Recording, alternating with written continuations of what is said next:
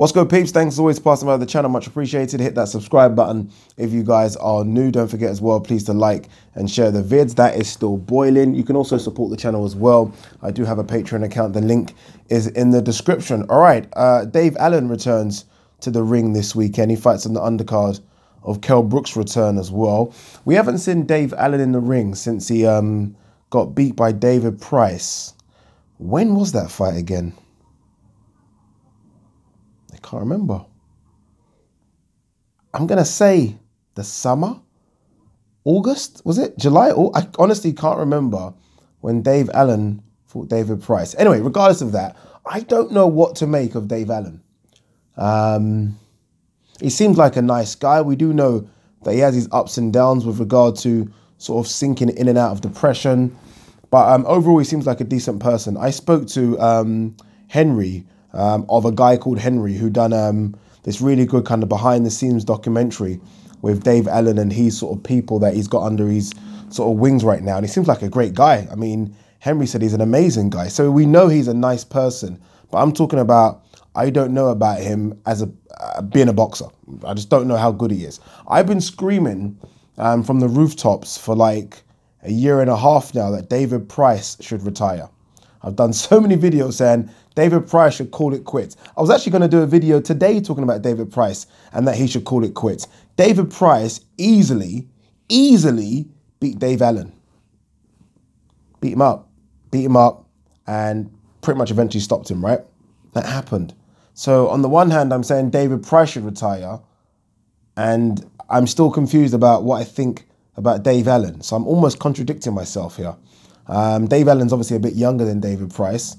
But in terms of where I thought he was going to go, like when he beat Lucas Browne, great body shot by the way, beat him, I actually thought he was going to go and beat David Price. And then I thought, you know what? As the motorbike goes past, I was just thinking, he could do something, not world level. I never ever thought, well, I'm, I'm not stupid, I'm not blind, not world level, but I thought he could be in some fun fights, right? Might get to European level maybe. Just might. Now, now I don't even think he's British level.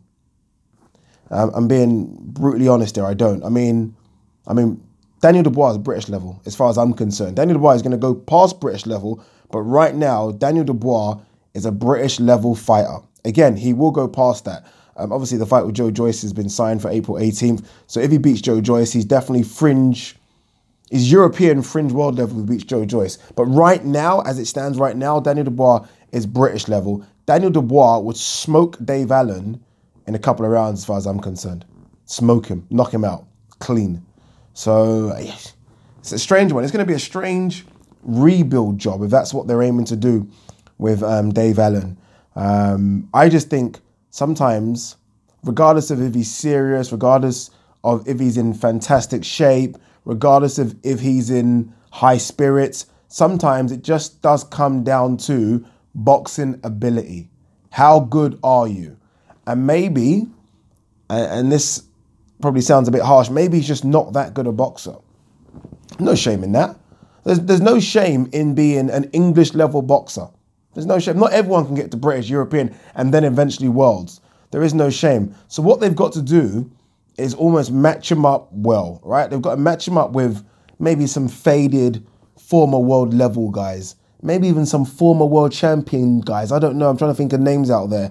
If Charles Martin loses a couple more guys, like they maybe got to do that, right? And he can obviously put bums on seats and do it that way.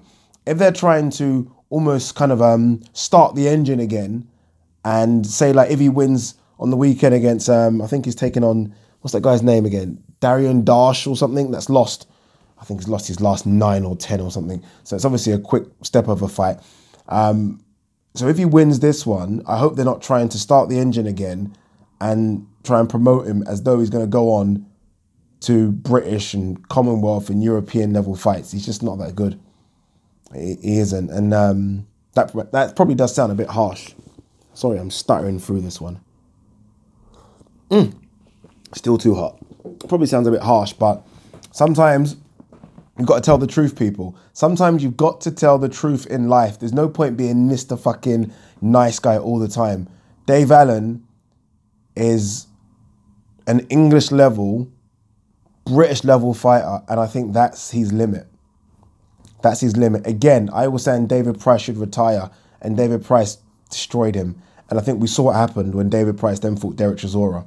There's levels to this game, people. And regardless of whether he's in shape or fighting fit, it comes down to boxing ability sometimes. That's just it. It just comes down to boxing ability. And he doesn't have enough boxing ability to compete with the high British guys, uh, European level guys, and I dare say fringe world level guys. He doesn't. They need to find more Lucas Brownes of the world for him to beat on and make those somehow sellable fights because that's as far as it's going. I think.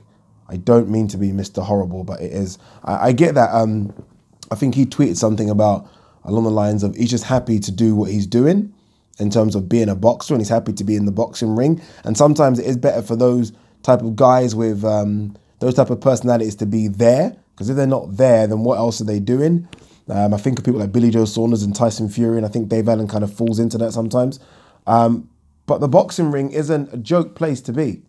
This isn't fucking badminton or tennis. Do you know what I mean? You've got to be fully out, and sometimes he isn't always fully focused. Um, he will be for this fight, but We'll get to see what happens after that. I'm rattling on. I don't know what I'm talking about. Peace.